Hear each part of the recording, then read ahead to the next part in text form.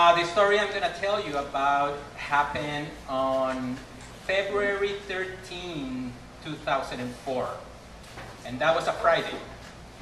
And I know that because that's the last time I smoked a single, a cigarette, a whole cigarette by myself, like I actually needed it, like my life depended on it. You see, back then I was doing my master's degree in the University of Texas at El Paso.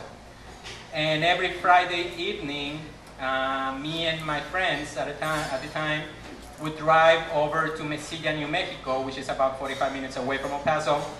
And there, uh, there's a, a, great film, uh, art house film theater that shows great alternative film and classics and stuff like that. And that night, uh, they were showing Doctor, Doctor Strangelove, or How I Learned to Stop Worrying and Learn to Love the Bomb. I don't know if you guys have seen it. It's a great comedy about the end of the world and it's hilarious. It is the funniest thing I have ever seen. And I had seen it about 10 or 15 times by then, but I really wanted to see it again. And that night, uh, I had, uh, my friend Jaime was driving over there uh, with his something something at the time called Saida. And I was driving over there with a girl I'd been hanging out for a few months now, almost a year now. Uh, and we've been hanging out, but we had never touched. And when I say we had never touched, I mean we had never shaken, uh, shaken our hands, we had never hugged, we had never ki- we had never kissed uh, hello or kissed goodbye. And if you know me, you know that that's not very weird because I don't really like touching people because they're icky most of the time, right? But this one girl I really wanted to touch, right? But I had just forgotten how to touch her. I was like that. And uh, the main problem was that she absolutely hated the smell of cigarettes. And I love smoking, man. I loved smoking so much that I named my lighter. Her name was Morgana. It was her. I love smoking so much that I actually named each cigarette that I smoke. And if you consider that at a point I smoke three packs a day, that's a lot of names to go through on a single day, okay?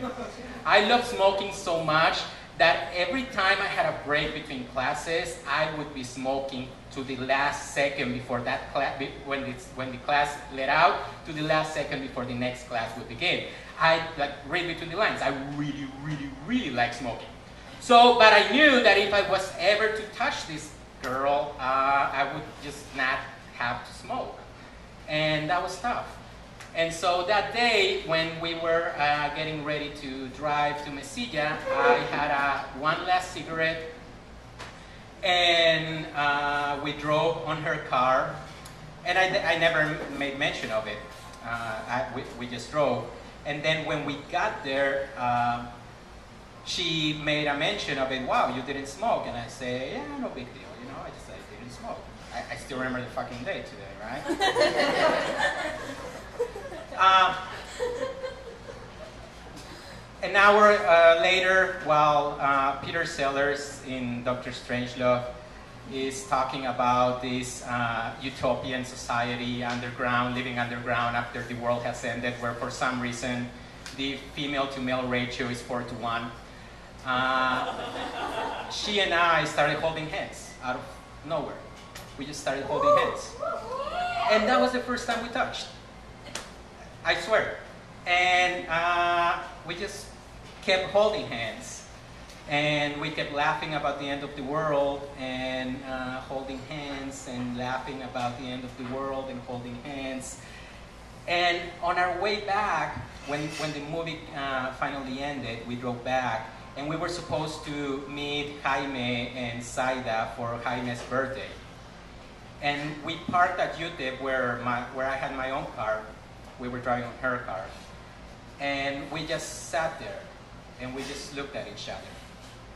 And we said, okay, I'll see you over at Jaime's. And we just sat there and we just looked at each other. And then we made out. And then we made out. And then we made out. And then we made out. And then we never made it to Jaime's birthday party.